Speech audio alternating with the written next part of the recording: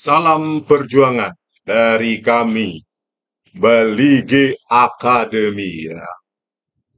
Kita harus tetap semangat ini sembari menunggu uh, Pak Oto Hasibuan dan rekan lawyer lainnya untuk mengajukan PK ya bulan Maret ini 2024 ini ya. Uh, ya kita juga berharap, saya terutama ya, dengan jutaan netizen yang lain berharap agar Muhammad Nu Al Azhar dan Christopher Hariman Rianto ini ya dilaporkan ke Bareskrim atau Propam ya agar ditahan ya agar dipecat dan dipidana ya sesuai dengan perbuatannya un, uh, dalam merekayasa uh, video CCTV di Cafe Olivier yang di gunakan di persidangan pada tahun 2016 yang lalu untuk mempidana ya bahkan mulai menersangkakan Jessica Kumala Wongso ya. Mulai dari rekonstruksi mulai dari saksi fakta saksi ahli ya penuntutan pendakwaan sampai keputusan semua berbasis video CCTV rekayasa ya. Nah, di sini ya kita akan mencuplik lagi ya perbuatan penipuan ya uh, penipuan yang dilakukan oleh Muhammad Nual Azhar terkait dengan puritas atau integritas data yang ada di dalam flash disk yang ditanyakan oleh uh, Hakim Kisworo ini ya.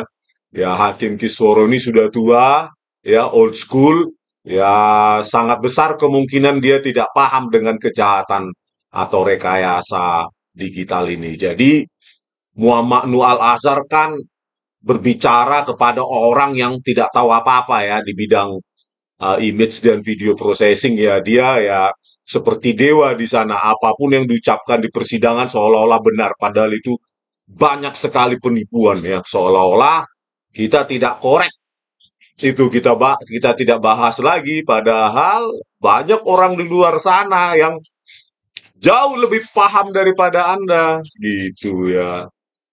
ya saya himbau juga kepada ini Muhammad Nual Azhar ya. Eh, daripada nanti semakin banyak ya. Ya daripada nanti semakin banyak jejak digital Anda yang mempermalukan Anda thumbnail-thumbnail seperti ini saya buat, ya. Maka sebaiknya Anda menyerah, ya. Oleh karena itu saya setiap hari ya terinspirasi, ya, terinspirasi pada sarang informasi ya uh, ya malu juga saya kalau uh, apa ya berhenti ya tapi saya tetap oleh karena itu saya tetap sisipkan di tengah-tengah kesibukan saya yang lain ya. Oleh karena itu, mari teman-teman kita perjuangkan keadilan ini karena keadilan itu tidak datang dari langit, tidak jatuh dari langit. We have to fight it. We have to earn it gitu. Kalau kita tidak ber, kalau kita diam, maka mereka akan tertawa di tengah penderitaan rakyat ya. Seperti pengkhianat rakyat ini, pengkhianat NKRI ini ya Muhammad Nur Al Azhar dan Christopher Harimandrianto khususnya Muhammad Nur Al Azhar ini ya sudah dibayar rakyat dengan gajinya dengan pajak. Justru dia mengkhianati tugasnya. Ya seharusnya dia mempertahankan informasi pada flash disk. Tetapi sebaliknya yang dia lakukan ya menghancurkan membuang informasi mengaburkan membuat keabuan suka-suka dia seolah-olah negara ini miliknya dia dan orang yang menyuruh dia ya kan? Gak mungkin orang ini ya inisiatif sendiri dengan Christopher. Gak mungkin itu. Itu melawan nalar itu apa untungnya dia kan?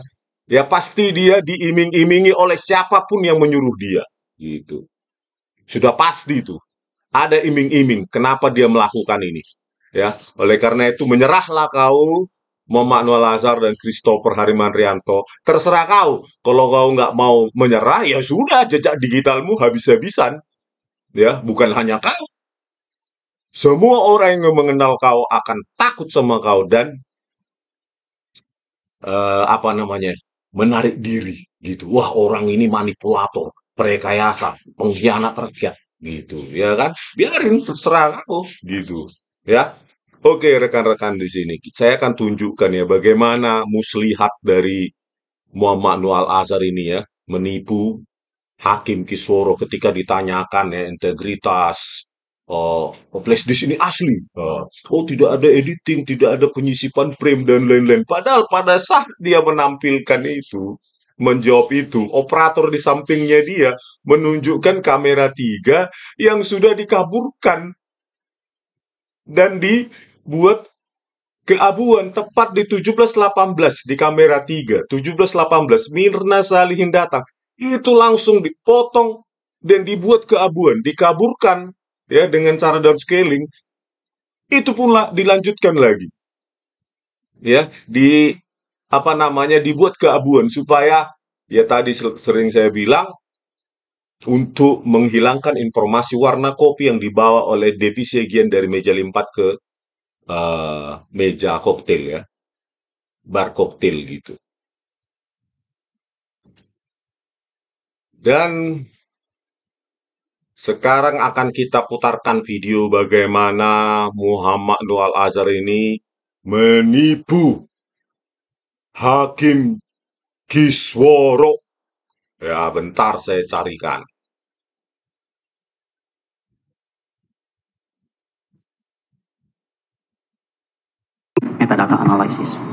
Artinya kalau misalnya berubah ada kontrolnya begitu? Kita tahu. Tahu kontrolnya? Kita tahu. Ada kontrolnya. Kan saintifik. Hmm. Dan itu juga nggak cukup. Kita tambah lagi metode yang ketiga yang namanya frame analysis, uh, analisa frame. Sejatinya rekaman video itu berupa frame, frame, frame, frame. Ada kalanya 15 frame dalam satu detik. Frame itu gambar. Jadi gambar uh, istilah dalam multimedia itu frame. Uh, tersusunlah frame-frame gambar-gambar itu ada 15 frame per detik, ada 30 frame per detik, ada 25 frame per detik. Yang ketika dia bergerak terlihatlah satu rekaman video yang utuh. Nah, jikalau ada frame yang dihilangkan, jikalau ada frame yang disisipkan, kita juga akan tahu. Kita tahu, ya? bisa ya. ketahuan ya? Bisa ketahuan yang mulia. Yang terakhir itu ada namanya analisa bit rate histogram. Analisa bit rate histogram itu uh, kita menguji transfer bit rate frame-frame ketika dia diakses sama komputer.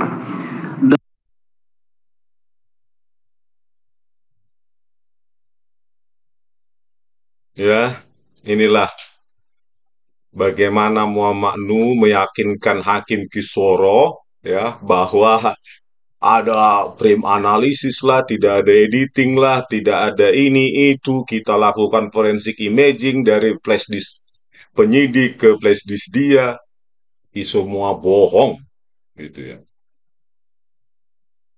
Coba kalian perhatikan di kamera tiga ini ya pada saat dia menampi, uh, menerangkan kepada Hakim Kisworo, itu kamera tiga saja itu sudah keabuan ya. Tepat di 1718 ya Mirna Salihin datang itu kamera tiga langsung dikaburkan dan dibuat keabuan oleh Muhammad Nual Azhar dan di sini dia meyakinkan hakim bahwa flash disk itu sudah kami analisa dengan berbagai level. Bohong, ya. Inilah penipuan dari Muhammad Nual Azhar penipu, ya, yang sangat mahir ya, bukan penipu amatir ini. Ini mahir sekali orang ini ya, menerangkan keilmuannya, ya manipulasinya kepada orang yang nggak paham sama sekali ya kelihatan hebat ya. Kalau dia hadir di seminar berkumpul orang-orang yang paham ya mungkin dia gelagapan ya kan karena orang yang paham akan melihat sedikit saja pertanyaan sudah langsung dapat itu penipuan semacam itu.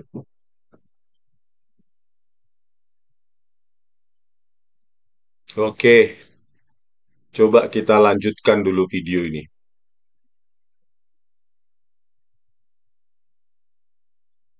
Dan jika misalnya juga di situ ada penyisipan frame atau editing di dalam frame itu sendiri juga akan kelihatan bitrate menjadi tidak seragam.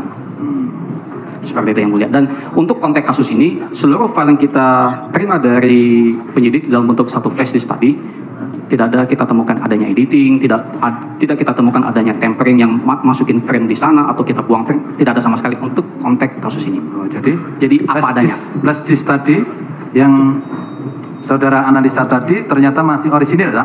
Iya, orisinil ya, iya. menurut ilmu pengetahuan yang saudara Iya, yang- yang ketahui ya, kan? betul sekali. Masih orisinil. Jadi tidak ada editing, tidak ada tempering. Inilah penipuan dia, padahal dia jelas melakukan penipuan, melakukan dengan editing, dengan tempering. Yang ditampilkan saja kamera tiga sudah hasil editing dan tempering ya. Bagaimana mungkin orang ini menipu di persidangan dan menginjak-injak wibawa pengadilan di Indonesia? Luar biasa orang ini ya. Luar biasa penipuannya. Ini sejak kapan dia lakukan ini? Sudah berapa kasus dia lakukan rekayasa semacam ini? Kita nggak tahu. Sudah banyak korban mungkin seperti Jessica. Gitu loh. Ngeri kali orang ini, ya. Tidak ada editing, tidak ada tempering. Ya dia yang melakukan editing dan tempering, gitu loh. Bukan DVR yang sudah nol itu, ya. Yang diambil dia cuplik-cuplik dari 900 GB menjadi 32 GB. Ya nggak mungkin DVR-nya melakukan editing dan tempering. Ya dia yang melakukannya beserta timnya. Ya,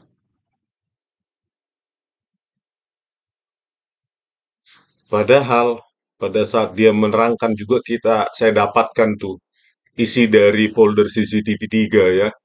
17-18 tepat itu ada dua potongan video, potongan kedua itu grayscale gitu loh. Sesuai dengan apa yang dapat kita dapatkan ketika diputar jaksa pada saat Rasmiati manajer reservasi dihadirkan gitu. Isi folder CCTV 3 itu dua potongan file ya 17-18 WIP tepat Mirna Salin datang langsung dibuat keabuan dan dikaburkan ya di downscaling gitu.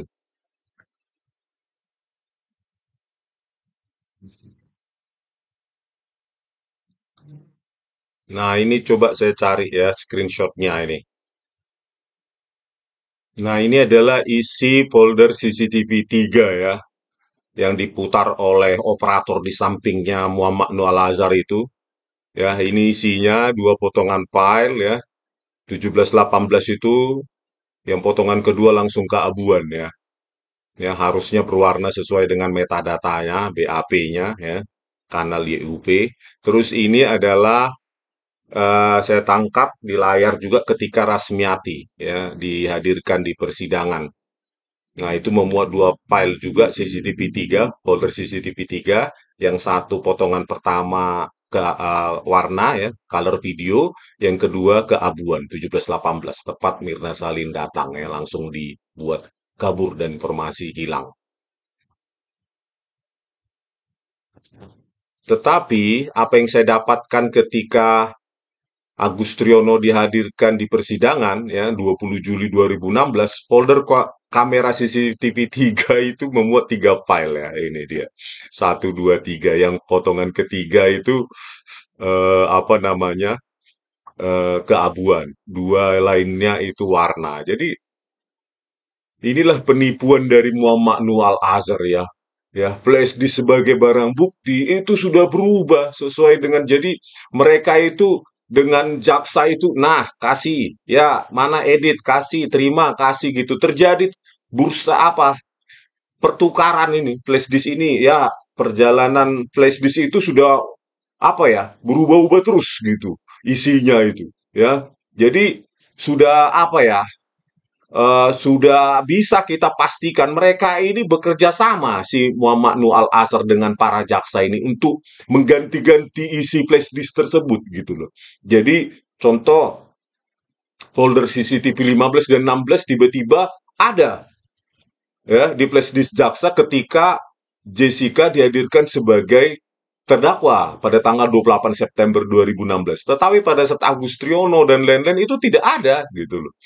Folder CCTV 15 dan 16 ya isi isinya yang 15 itu di ini ya di pantry gitu ya itu dibuat keabuan jadi Muhammad Nual Azhar dan apa para jaksa ini sudah saling kerjasama mengganti-ganti isi flash disk tersebut itu tidak mungkin tidak diketahui para jaksa itu. Karena ya itu pasti ketika flash disk itu ingin diubah ya Muhammad Nu pasti apa menghubungi Ardito Muardi dan kawan-kawan eh ini ubah ini ini ganti ini isinya ini. Nggak mungkin berubah dengan sendirinya kan? Tiba-tiba ada folder CCTV 15 dan 16 itu ya tanpa diketahui oleh Ardito Muardi ya. Nah, di situ pun Ardi, uh, jaksa dan uh, para jaksa ini keenam ini sudah menipu hakim juga gitu loh di persidangan ya uh, mereka mah seperti yang dikatakan oleh Sandi Andika kami tidak menyentuh kami tidak merubah sama sekali isi flash disk sebagai barang bukti. Padahal itu bohong ya penipuan itu. Karena apa? Tiba-tiba muncul kamera CCTV 15 dan 16 tanggal 28 September 2016 itulah.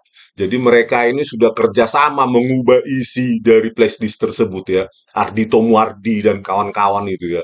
Itulah mereka menginjak-injak wibawa hukum di Indonesia. Oke, rekan-rekan sekalian ya, kita akan kupas terus dengan uh, wajah-wajah mereka satu persatu di thumbnail di YouTube ini. Oke, sekian dan terima kasih dari kami Balige Academy di tepian Danau Toba yang indah.